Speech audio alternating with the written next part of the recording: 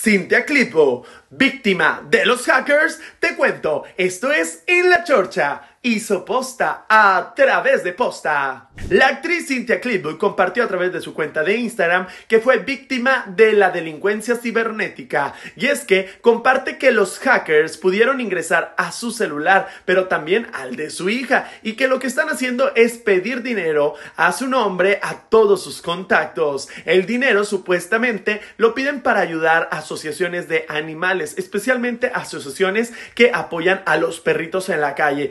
Que la actriz hace el llamado a todos sus seguidores de que no hagan caso si en algún momento reciben algún mensaje por parte de ella, pues no es la que está manejando sus redes sociales en este momento y también pide ayuda a alguien que le pueda ayudar a recuperar su celular de los hackers. ¿Cómo lo ven? Veamos la declaración, la denuncia.